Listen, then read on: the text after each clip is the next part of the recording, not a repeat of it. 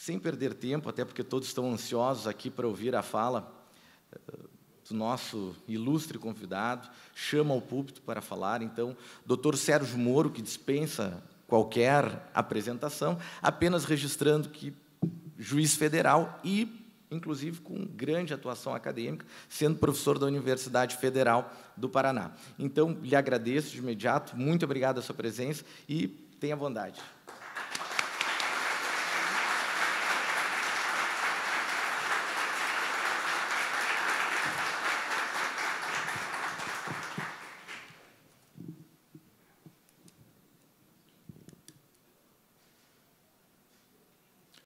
Bom dia a todos. Gostaria rapidamente de agradecer o gentil convite que me foi feito pela BDE para estar aqui, cumprimentar o portador do convite, o Dr. Luciano Tim.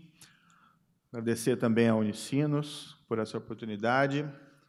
É, eu ouvi atentamente as suas palavras, eu acho, antes de entrar na minha exposição específica, importante pensar a área jurídica, o direito, por outras perspectivas, e nessa linha, embora eu não seja nenhum especialista em análise econômica do direito, no fundo me considero nesse ramo um, um, de certa forma um ignorante, mas eu acho que é importante realmente uma lufada de ar nos bancos das nossas academias jurídicas.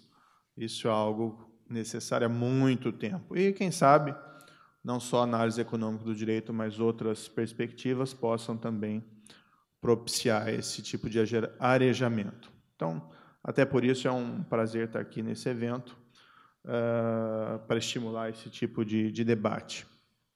No entanto, confesso que fiquei um pouco em dúvida sobre o que eu falaria aqui nessa manhã, porque, como eu disse, não sou um profundo conhecedor de análise econômica do direito.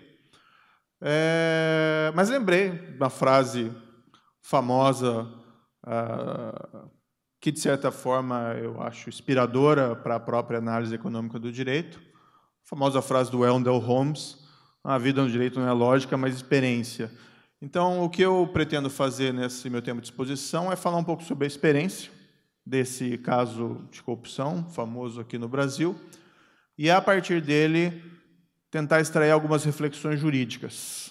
Uh, não sei se isso é propriamente análise econômica do direito, mas certamente propicia alguns pontos de vista interessantes para que nós possamos trabalhar, pensar esses temas numa perspectiva um pouco mais ampla. É um esclarecimento que é essencial. Tudo o que eu for falar aqui a respeito desse caso diz exclusivamente respeito aos processos já julgados. Tá? Para aqueles, todos sabem, mas, enfim, uh, o que é chamado de Operação Lava Jato uh, não se refere a um único caso criminal. O Ministério Público Federal optou como estratégia de persecução a apresentação de acusações em separado contra grupos de fatos e grupos de pessoas então não existe um único caso, um único processo. Os dados que eu tenho, embora eu não, não coleto essas estatísticas, estatísticas eu retiro de uma base de dados do próprio Ministério Público Federal, uh, são mais de 60 ações penais já propostas contra cerca de 277 pessoas uh, entre as quais dessas ações penais, cerca de 33 foram julgadas já, com cerca de 157 pessoas condenadas por corrupção ou lavagem de dinheiro, principalmente. Então, minhas reflexões dizem respeito exclusivamente a esses casos já julgados e nenhuma referência aqui diz respeito a casos pendentes. Isso é importante destacar, porque, evidentemente, todos sabem, como eu sou um juiz desses casos, não posso fazer nenhuma referência a casos pendentes. Ah, é uma história longa e há muitos detalhes, mas eu gostaria de ir no núcleo desses fatos e o que foi constatado com base nos processos já julgados. O que foi? Isso não é nenhuma novidade, nós vimos isso no noticiário todo dia O que foi verificado pelos casos já julgados é que havia um sistema de corrupção no âmbito de determinados setores da administração pública eh, brasileira, direta e indireta. É um sistema de corrupção que nós convencionamos denominar de corrupção sistêmica. A corrupção, como um ato isolado no tempo e espaço, né, um abuso de poder público para ganho privado, é algo que acontece no mundo inteiro, em maior ou menor proporção. Ah, mesmo os países tido, tidos como mais limpos ah, nas percepções mundiais, por exemplo, a transparência internacional, como a Dinamarca, ah, mesmo lá existe corrupção. Mesmo, por exemplo, nos Estados Unidos, que é tido um país com uma percepção de corrupção muito menor do que a do Brasil. Então, a corrupção existe em todo lugar. Agora, algo um tanto quanto diferente é essa corrupção como um sistema organizado. E considerando os casos já julgados, é possível afirmar que um quadro dessa espécie foi identificado em contratos da Petrobras, a nossa gigante do óleo estatal, com as suas principais fornecedoras.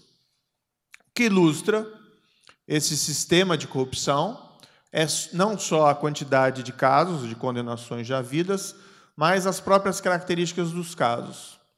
O que foi ali verificado é que em todo o grande contrato da Petrobras havia como uma prática a reserva de cerca de 1 a 3% do valor do contrato para distribuição de vantagem indevida ou de propina, que era dividida entre executivos da Petrobras e agentes políticos ou partidos políticos que davam suporte à permanência ou nomeação dessas pessoas nos seus respectivos cargos na Petrobras. Isso não aconteceu uma, duas ou dez vezes. Isso acontecia como um sistema. Tá? Alguns das, algumas das pessoas envolvidas nesses crimes culminaram por confessar e revelar as suas faltas, e eles mesmos não raramente se referiam à expressão paga-se propina porque é a regra do jogo, porque é assim que se faz negócios na Petrobras, certo? Ah, ou seja, era quase como se houvesse uma tabela de preço, de propina, de taxa pré-estabelecida para, esses contratos, o que até gerava menores, vamos dizer assim, chances de dissenso em relação ao pagamento de corrupção, porque os participantes dos contratos sabiam de antemão que esses pagamentos teriam que ser efetuados. Eventualmente, uh, em contrapartida, há um benefício tangível e, uh, não raramente, um pagamento que tinha, segundo declaração de alguns que admitiram os pagamentos, o objetivo de manter um bom relacionamento tá? e obter, eventualmente, favorecimentos segundo as oportunidades surgissem numa relação um tanto quanto mais duradoura. Também ilustrativamente, dessa corrupção sistêmica. Aí nós podemos identificar alguns casos pontuais. Ah, os valores eram muito expressivos.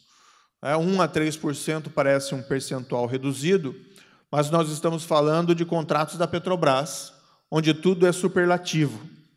Eu até falo brincando que, ao final desse caso, talvez eu me aposente e vá trabalhar na indústria petroleira, porque eu fui descobrindo algumas coisas que eu... E, por exemplo, um navio sonda é muito caro. Então, contrato de fornecimento de navio sonda normalmente da ordem de 500 bilhões de dólares. Ah, uma propina de 1 a 3% em cima de um valor dessa espécie, de um contrato dessa espécie, gerava aí dezenas de milhões de dólares a serem distribuídos entre os participantes. Ah, ilustrativamente, ah, ainda da corrupção sistêmica, a Petrobras ela inicialmente tinha uma postura de negativa. Nossos problemas não têm nenhum nossos contratos não têm nenhum problema corporativo, né? nosso compliance é excelente, mas esse discurso foi mudando com a realidade das provas e dos fatos, até que a Petrobras, naquele famoso balanço de 2014, publicado em 2015, reconheceu perdas contábeis com corrupção de 6 bilhões de reais. Bilhões de reais. É, 6 bilhões de reais em propinas. E veja que é custo direto, não, não é custo indireto da corrupção, mas valores estimados que foram pagos como propinas e, como tais, embutidos ah, em preços de contratos que foram arcados pela Petrobras. É uma estimativa, o valor pode ser maior, o valor pode ser menor, mas convenhamos, hipoteticamente, que o valor seja metade, 3 bilhões de reais. Ainda assim, é também ilustrativo dessa corrupção como sistema. Mas podemos falar também dos casos individuais.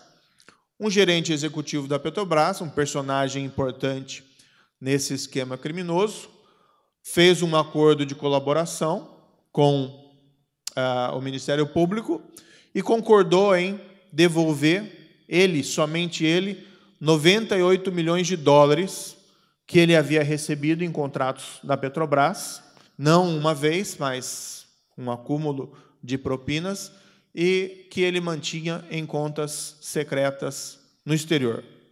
Aliás, falando em contas secretas no exterior,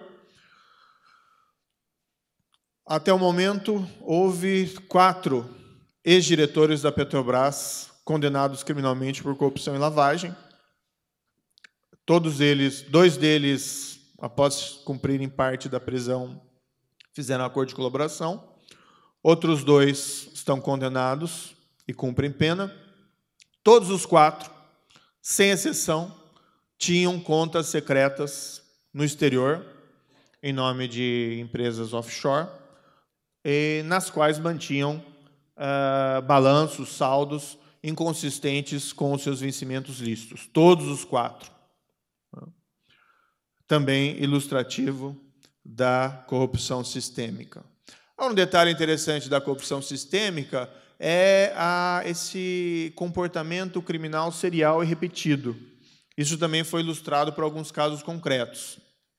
A grande maioria dos agentes políticos beneficiários desses pagamentos não respondem perante a justiça ordinária. Nós temos aqui no Brasil, todos sabem, esse chamado privilégio, foro por prerrogativa de função, e essas pessoas normalmente respondem perante as cortes superiores.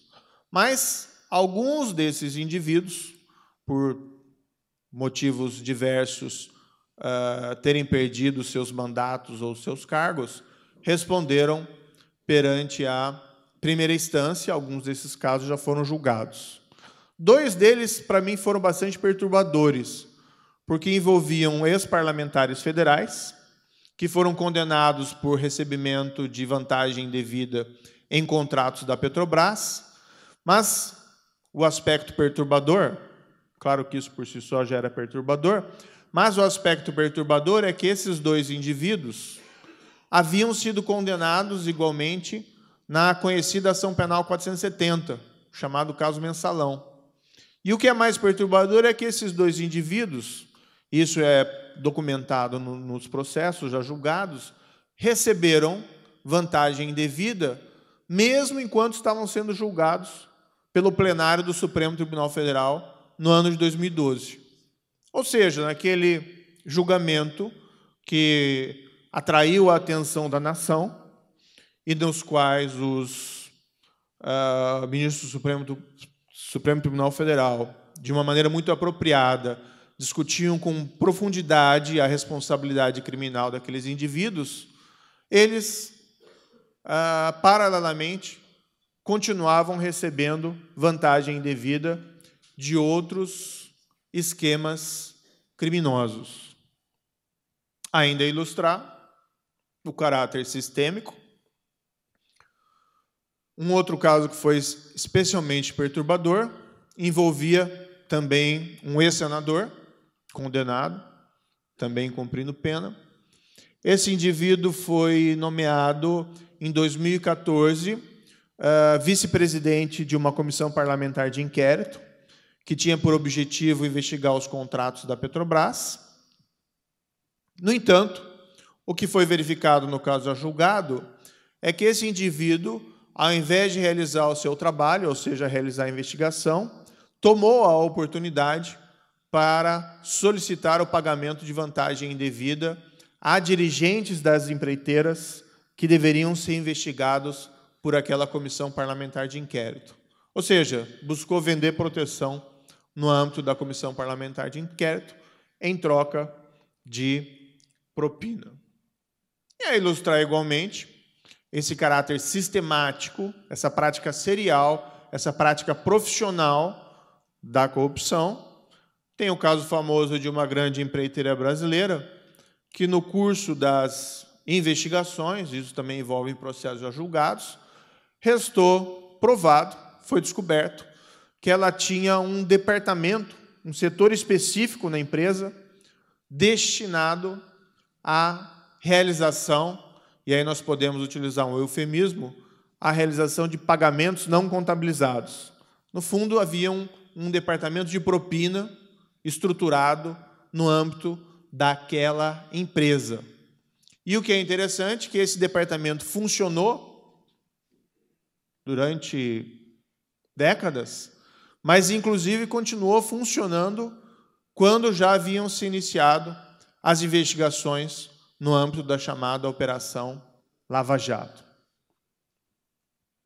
Inclusive, durante todo o ano de 2014, esse departamento, o que nós temos presente é que ele encerrou as suas atividades exclusivamente a partir da efetivação da prisão preventiva do presidente daquela grande corporação. Pois bem, esse, essa corrupção sistêmica, ela é extremamente perturbadora. Ela afeta, evidentemente, a qualidade da nossa economia. Eu até tinha pensado aqui em discutir um pouco uh, sobre danos à economia decorrentes da corrupção, mas eu acredito que, embora tenha havido um debate antigo sobre um eventual efeito benéfico da corrupção, aquele velho debate entre grease or sand envolvendo a corrupção, mas eu acredito que hoje existe um consenso muito claro de que a corrupção é extremamente prejudicial à economia. Então eu prefiro até não discorrer muito sobre isso. Mas para nós ficarmos apenas em poucos exemplos, ah, nós temos aí o próprio custo contábil reconhecido pela Petrobras dos 6 bilhões de reais, a ilustrar a magnitude da afetação da produtividade e da eficiência econômica de uma companhia em decorrência de uma prática de corrupção disseminada. E não só isso, né? nós podemos pensar que uh, a corrupção, o efeito danoso é, dela não, não deve ser apenas estimada com base no custo direto da propina, mas também nos custos indiretos. Por exemplo, será que decisões econômicas equivocadas ou mal intencionadas não teriam sido tomadas no âmbito desses contratos, já que a preocupação, talvez principal, dos indivíduos envolvidos era não tomar a melhor decisão do ponto de vista econômico para a companhia, mas sim tomar uma decisão que propiciasse oportunidade para a geração de recursos para a propina. E quem sabe isso possa explicar, é, no âmbito da Petrobras, diversas decisões de investimentos que são normalmente questionadas do ponto de vista econômico. Tá? Então, por exemplo, casos também já julgado, aquisição de navios sondas que não necessariamente, é, vamos dizer, não eram tidos como necessários naquele momento específico, navios sondas, alguns que ficaram inclusive parados, ou a construção de um, um famoso caso da refinaria do Nordeste Abreu e Lima. Alguns dos contratos envolvendo essa refinaria já já tem casos provados que envolveram corrupção.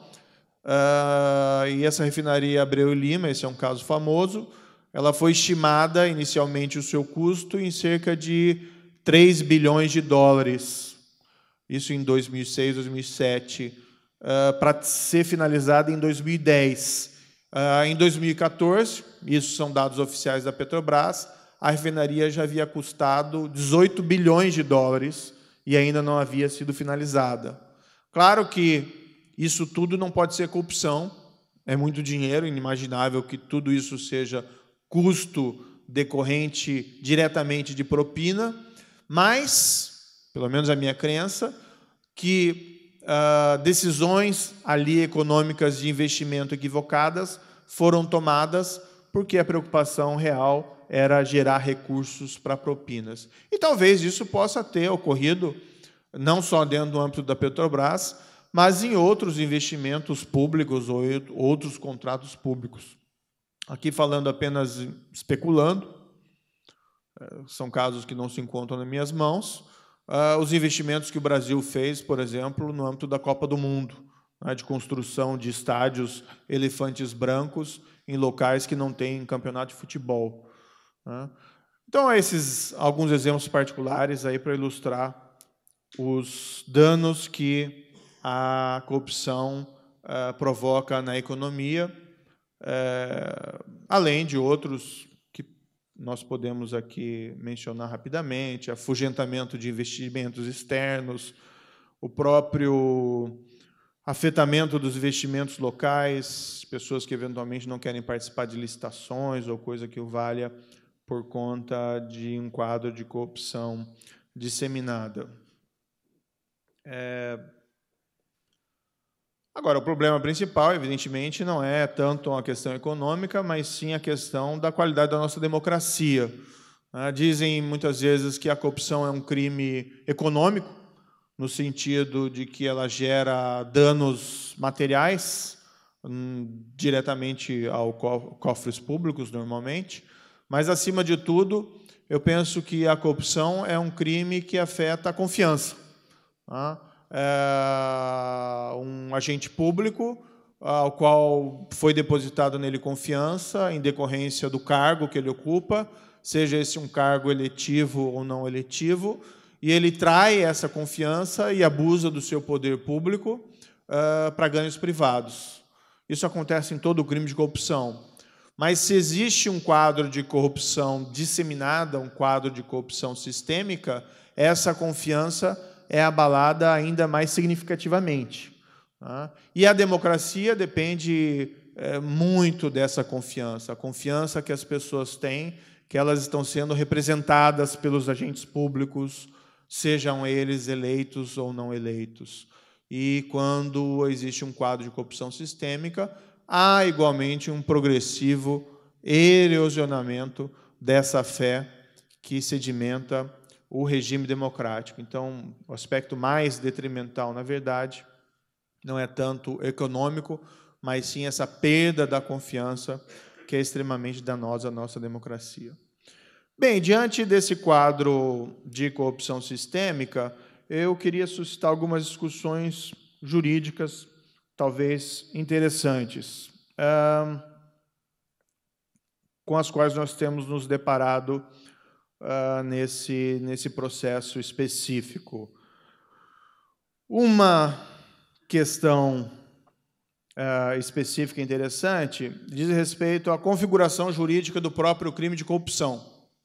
Ah, o crime de corrupção está previsto no nosso Código Penal, no artigo 317 e no 333, a corrupção passiva e a corrupção ativa, e sempre houve uma discussão que é uma discussão interessante a respeito uh, da necessidade ou não para a configuração desse crime do chamado ato de ofício. A corrupção é normalmente tido como um crime que envolve uma relação de troca, aquilo que nós chamamos do quiproquo. Ou seja, eu lhe concedo um benefício, normalmente esse benefício vai ser material, na forma de dinheiro, mas não necessariamente, em contrapartida a um ato ou uma omissão uh, por parte do agente público que me leva, que gera algum favorecimento. E existe uma discussão muito antiga a esse respeito. Se nós formos analisar a redação do tipo do artigo 317 do 333, nós temos muito claramente que a efetiva prática do ato de ofício tá, é, não é, é necessário para configuração típica. Ou seja, não é preciso que o agente público cometa o ato de ofício pretendido em troca, ou somita na prática desse ato de ofício, para a configuração do crime. O que os dispositivos prevêem, no 317, parágrafo 1, no artigo 333, parágrafo único, é que a prática do ato de ofício ou somissão, quando em infração do dever funcional, constitui em causa de aumento da pena. Isso com base numa interpretação ali praticamente literal. Então se pode dizer que a prática não é necessária do ato de ofício. Mas ainda assim vem a questão: tudo bem, a prática não é necessária para a configuração, mas é necessário ainda que eu pague um valor, tendo presente a contrapartida de um ato de ofício, ainda como impotência, ou isso é desnecessário para a configuração típica? Houve uma discussão, há uma discussão sobre esse tema no Brasil que é antiga, vem ela ela foi ressaltada especialmente durante o julgamento da ação penal 307 pelo Supremo Tribunal Federal em 13 de 12 de 94. Para quem não se lembra, é o famoso caso envolvendo acusação criminal contra o ex-presidente Fernando Collor de Mello. Tá? E naquela oportunidade, o Supremo Tribunal Federal decidiu por absolver o ex-presidente, mesmo estando provado que ele havia recebido recursos financeiros ilícitos do denominado esquema Paulo César Farias. Mas o Supremo Tribunal Federal entendeu que não havia a prova, vamos dizer, de que aqueles valores haviam sido pagos em contrapartida a um ato de ofício ou uma omissão prometida pelo ex-presidente. Houve, na ocasião, um famoso voto vencido do ex-ministro Sepúlveda Pertence, e, mas, não obstante, a maioria formada foi no sentido da absolvição.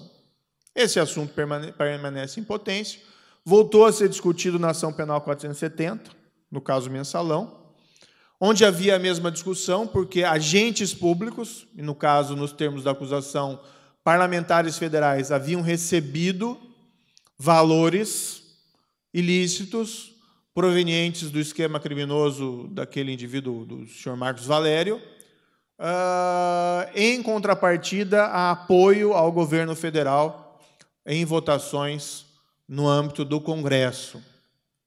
É interessante destacar que, nesse caso, houve discussões a respeito da necessidade ou não da caracterização desse pagamento em contrapartida de algo, mas o Supremo, no julgamento, não foi conclusivo a esse respeito, até porque era um caso que não necessitava de uma conclusão hum, a respeito dessa questão jurídica no julgamento, porque, de fato, no caso, havia a prática dos atos de ofício, ou seja, aqueles parlamentares que haviam ah, vendido o seu apoio haviam efetivamente votado em, em projetos importantes para o governo federal, em favor do governo federal, em troca daqueles é, valores específicos. Mas é interessante destacar que na ação penal 470, essa caracterização dos atos de ofício praticados em troca de vantagem financeira é colocada no processo de uma maneira um tanto quanto fluida, indeterminada. Olha, foi vendido apoio, foi vendido por aqueles parlamentares apoio ao governo federal nos projetos de lei que surgissem. Não havia assim uma determinação muito clara de que aquele valor específico foi recebido em troca, por exemplo, da votação no projeto X ou no projeto Y. Talvez aí exista uma dessa, dessa discussão nesse caso nos permita algumas reflexões interessantes sobre essa questão do ato de ofício no âmbito do crime de corrupção. O que foi a minha percepção nos casos já julgados no âmbito dessa chamada Operação Lava Jato, em casos muito pontuais, havia uma caracterização de que o pagamento da vantagem devida ao agente público tinha por contrapartida um ato de ofício determinado. Mas, na grande maioria dos casos, como aquela corrupção era sistêmica, como aquela corrupção era duradoura, envolvia uma relação tanto quanto permanente entre as empresas fornecedoras da Petrobras e os agentes da Petrobras corrompidos, a explicação usual que era recebida do porquê se pagava era para que fosse mantida uma boa relação entre o agente privado e o agente público. Ou seja, uma venda de influência segundo as oportunidades aparecessem. Ou seja, eu pagava o diretor da Petrobras, eu pagava o, o gerente da Petrobras, eventualmente em troca de um ato de ofício específico, mas mais do que isso, o que eu queria é que ele me ajudasse sempre que fosse necessário numa relação mais ou menos uh, duradoura. Aqui eu vou me permitir fazer uma breve reflexão, um breve parênteses cinematográfico, para tentar ilustrar isso que eu estou querendo dizer. Certamente todos ou quase todos aqui já assistiram o filme do Poderoso Chefão, Godfather. Né? E uma das cenas mais interessantes é logo aquela cena inicial, em que o Marlon Brando, como Don Corleone, ele recebe na sua casa, no dia do casamento da filha dele, um pequeno empresário, dono de uma agência funerária. Não sei se recordam bem dessa cena.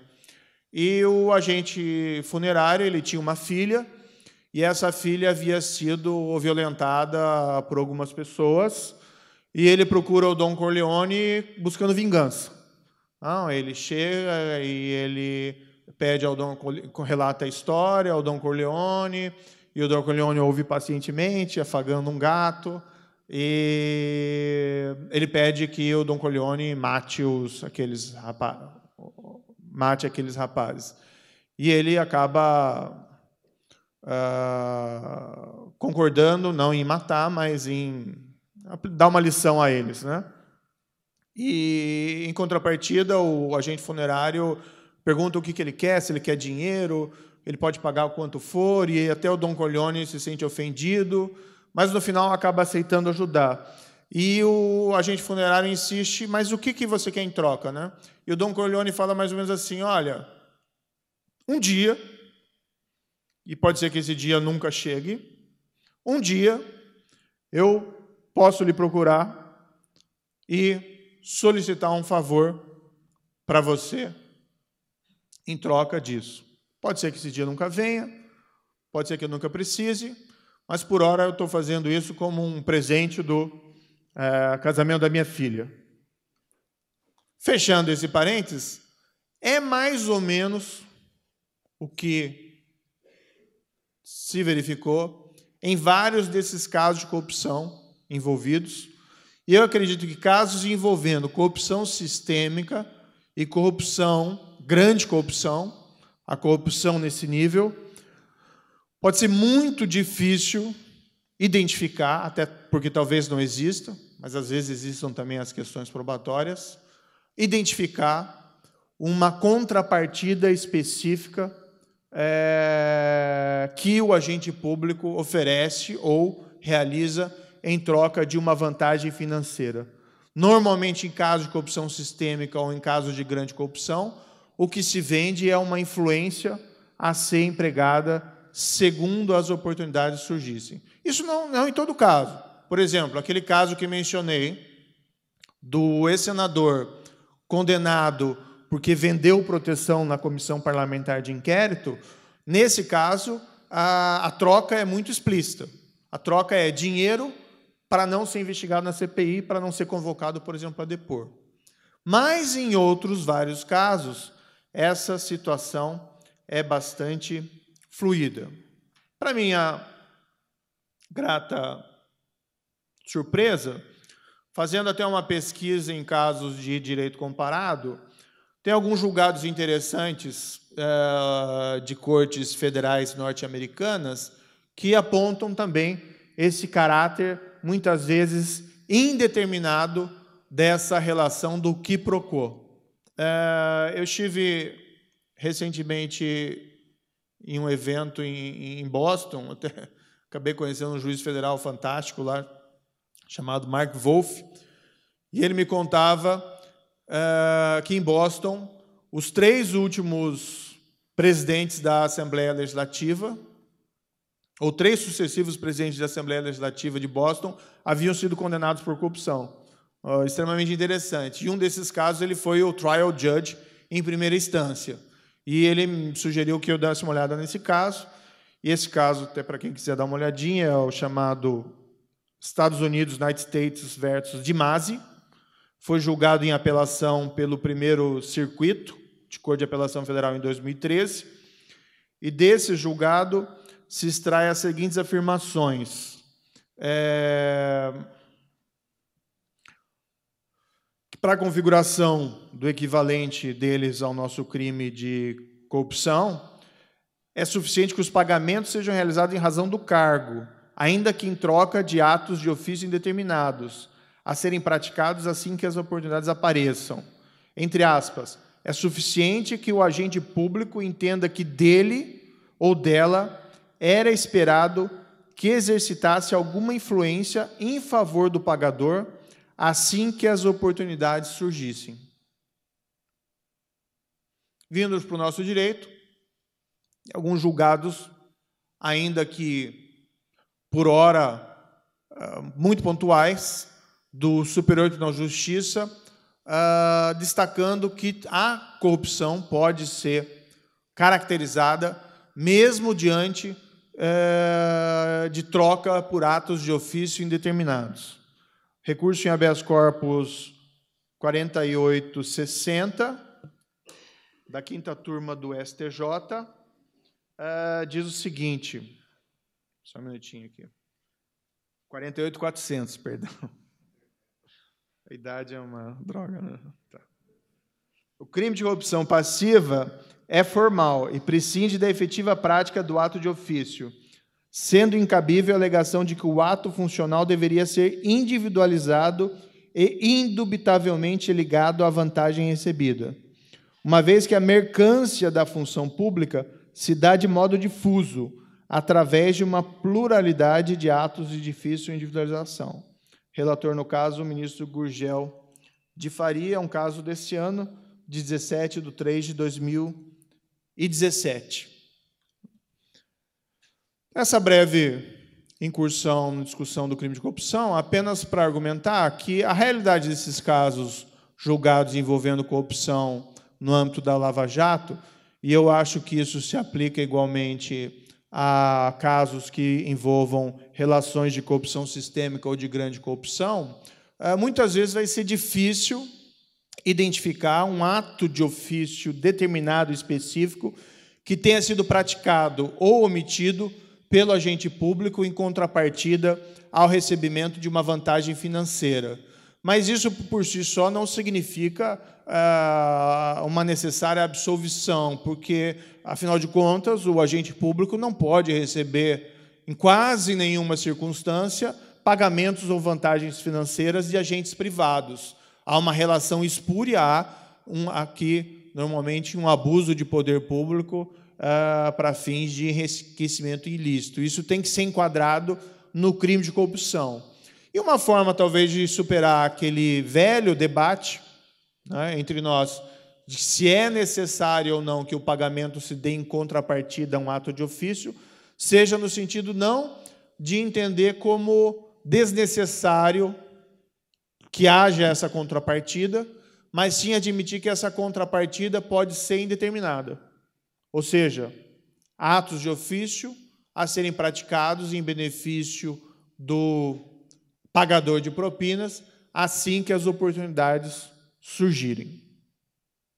Necessário, eventualmente, fazer uma exceção quanto a essa compreensão. Ah, no caso dessa chamada Operação Lava Jato, foram identificadas diversas maneiras de transferência da vantagem financeira para o agente público corrompido.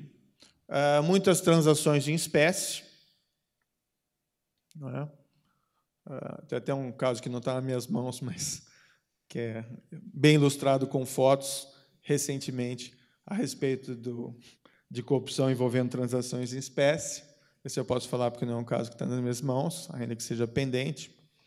É, boa parte dos casos envolvendo transações com contas no exterior, gerando verdadeiros desafios à investigação. Né? Em particular, um caso, uma, uma, uma empresa especializada, essa mesma empresa que, que tinha um departamento para pagamento de propina, ah, remunerou diretores da Petrobras, usualmente através de depósitos em contas offshores desses diretores no exterior. Mas não era que a empresa realizava o depósito de uma conta dela para a conta dos diretores. Ela, por sua vez, também utilizava diversas contas offshores para assim proceder. E às vezes com mais de duas camadas de contas uh, entre a conta dela, da própria empresa, e a conta do diretor. Ou seja, uma conta na empresa, em nome da própria empresa, transfere para uma conta offshore de um indivíduo contratado por ela, uh, mas sem uma ligação formal com a empresa. Esse indivíduo transfere o dinheiro para uma outra conta offshore por ele controlada por um terceiro, também sem uma relação formal com a empresa, e aí sim esse indivíduo deposita na conta offshore do diretor da Petrobras, gerando um desafio tremendo para seguir aquela velha tática de investigação do follow the money. Pois bem, mas uma das formas uh, pelas quais também foi identificado que havia pagamento de propina eram através de doações eleitorais uh, formais. Ou seja, combinava-se valores de propina e essa propina era transferida através de doações eleitorais registradas por essas empresas. Nesse caso que eu mencionei do ex-senador, houve uma situação dessa espécie, em que ele recebeu parte da vantagem devida eh, por mecanismos mais tradicionais, informais, mas parte da vantagem devida ele recebeu através de doações eleitorais registradas. E até não para ele, para pessoas que ele havia apontado. Mas naquele caso específico havia prova, não só a confissão dos pagadores de propina, mas elementos documentais materiais que permitiam a conclusão de que aqueles valores, embora transferidos em doações eleitorais eh, formais, tinham como contrapartida um ato específico de proteção daqueles empresários na CPI e, portanto, foi possível caracterizar o crime de corrupção, mesmo havendo essas doações formais registradas de parte da transferência do dinheiro. Agora, se não é esse o caso, se há transferência de valores por doações formais registradas, é, para que isso seja caracterizado como realmente corrupção, Aqui sim eu penso que é necessário fazer uma ressalva, porque até pouco tempo atrás, até julgamento do Supremo Tribunal Federal de 2015, uh, ah, eram tidos como válidas doações formais eleitorais empresariais para candidatos a cargos eletivos, certo? Como havia a como isso era tido por válido, eu não posso caracterizar uma doação eleitoral registrada como crime de corrupção, salvo, e aqui vem a ressalva, como no caso daquele senador, se restar aprovado que essa doação eleitoral registrada tinha presente uma contrapartida determinada e específica. Aqui, a meu ver, não pode ser uh, uma mera compra de influência quando as oportunidades surgirem.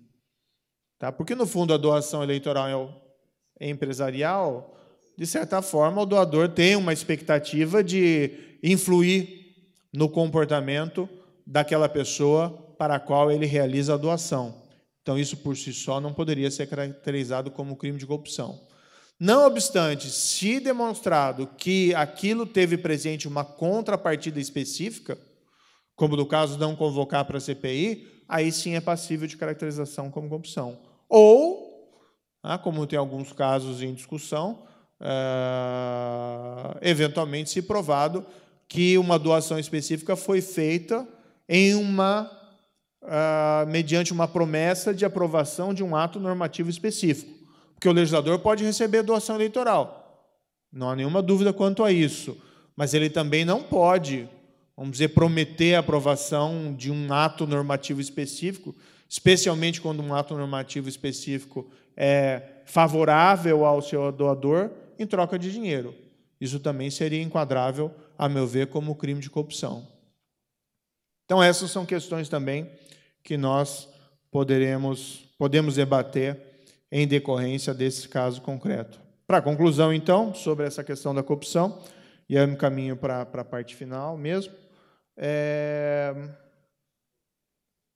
esses casos concretos nos ilustram que é possível superar aquela velha discussão, admitindo que a corrupção sempre tem por contrapartida algo do agente público, mas que esse algo pode ser algo indeterminado, não precisa ser algo específico e determinado salvo nos casos em que houve transferência de valores ao agente público por doação eleitoral registrada. Como isso era tido como um comportamento válido, isso só será passível de caracterização como crime de corrupção se provado que aquilo teve presente uma contrapartida específica e determinada, porque também não se admite a mercância é, nesse nível uh, vamos dizer, do atos que podem ser praticados por agentes políticos. Isso é importante destacar porque, vejam, pagar dinheiro, transferir dinheiro a agente público, normalmente é crime de corrupção. Não há muita dúvida quanto a isso. Mas se a legislação admitia que em determinadas hipóteses poderia ser válido, como doação eleitoral registrada, nós temos de identificar as circunstâncias em que isso deixa de ser válido e passa a ser considerado uma espécie de crime, e, a meu ver, nesse caso, é o ponto da exigência da contrapartida específica. Um outro ponto, e falando muito rapidamente aqui, que entendo que nós temos que discutir profundamente uh, a partir desse caso concreto. Veja, o, o direito brasileiro falhou em prevenir esses eventos criminosos. Claro que não é só culpa do nosso direito, isso é culpa, também da nossa economia e do nosso é, nossa política.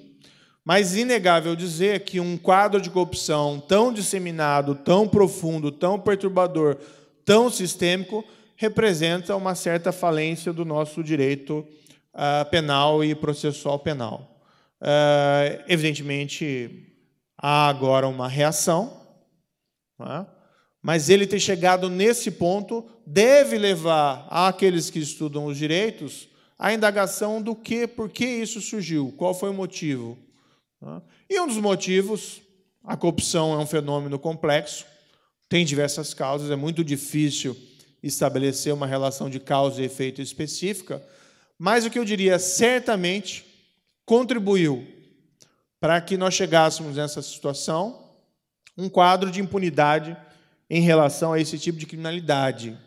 Então, nós construímos um edifício teórico, jurídico excelente, nós temos códigos de qualidade que são muito bons, mas é aquilo que poderíamos dizer: o carro é bonito, mas ele não anda. Né? E nós, como operadores do direito, temos que pensar nisso. O carro tem que andar, o carro tem que funcionar. E quando ele não funciona, o resultado são esses monstros. Tá? O que nós tínhamos até não muito tempo atrás é que esses crimes grandes de corrupção não geravam condenações criminais. Claro que nós tínhamos condenações criminais pontuais, ou, desculpe aqui o exemplo apenas ilustrativamente, sem querer ofender ninguém, guardas de trânsito recebendo propina para não aplicar multas, diversos casos na justiça com condenações criminais. O grande diretor da Petrobras recebendo milhões em de dólares em propina seguia impune. Vários motivos. Entre eles, algo que nós temos que dizer, nosso processo penal nunca chegava ao fim. Nesses casos complexos, advogados habilidosos, e sem qualquer demérito, juízo de valor de demérito em cima desses advogados habilidosos, mas eles se aproveitavam das falhas do sistema para eternizar relações processuais, os casos nunca chegavam ao fim. Generosos recursos e, por vezes, aliados a generosas regras de prescrição que admitem que a tela continue a correr, mesmo após o processo instaurado. O resultado era um desastre. Né? O quadro começou a mudar dessa impunidade, de uma maneira mais incisiva, a meu ver, a partir da ação penal 470 no Supremo Tribunal Federal. Isso foi aprofundado com o início da Operação Lava Jato. E hoje nós podemos ver com uma certa felicidade que talvez a impunidade não esteja mais sendo a regra. Não só por conta dos casos em Curitiba, mas hoje existem casos relevantes espalhados em todo o país. Casos importantes no Rio de Janeiro. Ontem, uma decisão extremamente importante do juiz do Rio de Janeiro relativamente à corrupção naquele estado. Casos relevantes com juízes em Brasília, seja no Supremo Tribunal Federal, seja nos juízes de primeira instância. E nessa linha de dar um basta a essa impunidade da grande corrupção, houve uma decisão muito importante do Supremo Tribunal Federal, uh, no ano de 2016, que foi o habeas corpus 126.292, seguido naquele mesmo ano pelas ações declaratórias de constitucionalidade 43 e 44, de 5 de 10 de 2016, em que o Supremo Tribunal Federal, a meu ver, com a percepção de que esse quadro de impunidade era um dos fatores que levavam a essa aprofundada corrupção, alterou o entendimento jurisprudencial anterior e passou a entender que, a partir de uma condenação criminal em segunda instância, poder-se-ia seguir a execução da condenação, independentemente de recursos às cortes superiores, e que isso não feria a presunção de inocência. Esse foi um julgamento extremamente importante. É reforma processual penal que nós tivemos nos últimos, sei lá, desde a ação penal 470, é a reforma processual penal relevante, que faz a diferença. Né? Sei que há aqueles com entendimento diverso, que tem que se esperar o julgamento até a última instância, mas o que eu posso dizer é o seguinte: o entendimento diverso, não que seja o único fator, nos levou à corrupção sistêmica. É o caso realmente de insistir no entendimento diverso? Será que nós não podemos abrir a mente para argumentos diferenciados, para que nós temos um sistema processual penal que funcione para esses casos de grande corrupção? Se diz que viola a presunção de inocência, mas, veja, a presunção de inocência diz muito respeito à regra da prova. Precisa de prova categórica para condenação criminal. E a questão do efeito de recurso não tem nenhuma relação com a questão da prova é basicamente efeito de recurso. Está certo que uma prisão normalmente tem que seguir um julgamento e não precedê-lo. Mas a prisão a partir de um julgamento em segunda instância já é uma prisão que sucede dois julgamentos. É? Apenas talvez não o último julgamento. E países que têm uma tradição liberal democrática como a nossa, para nós citarmos aqui Estados Unidos e França, admitem a prisão para a execução da condenação a partir do julgamento em primeira instância. Então, universalmente, não é contrária à presunção de inocência. Eu digo isso porque uh, eu acho que essa foi a reforma fundamental. A Operação Lava Jato ela vai acabar. Uh, é, esses casos que se encontram com juízos no, em Brasília, no Rio de Janeiro, vão acabar. Vão surgir outros casos criminais. Não se imagina que que é, vai ter, ser um caso criminal que vai resolver o problema da corrupção no Brasil. A corrupção sempre vai existir. O que nós temos que trabalhar é que ela não seja sistêmica, né, para diminuir a incidência dos casos. Mas esses casos vão acabar. E se nós não mexermos na estrutura que levou ao surgimento da corrupção sistêmica, ela vai retornar, ou ela vai ter condições de, de continuar. Por isso é especialmente importante que, além dos casos concretos que constituam exemplos que infirmam a impunidade desses crimes, nós tenhamos também uma estrutura que funcione. Por isso é essencialmente importante a manutenção desse julgamento, desse precedente do Supremo Tribunal Federal, com todo respeito àqueles que pensam o contrário. Digo isso porque existe aí um, algum burburinho no sentido de que o Supremo poderia mudar novamente esses precedentes. Eu espero, sinceramente, que isso não aconteça espero que aquela corte que levou à formação desse importante precedente uh, preserve essa sua posição. Agradeço a todos, doutores, doutoras, senhoras, senhores, a atenção. Muito obrigado.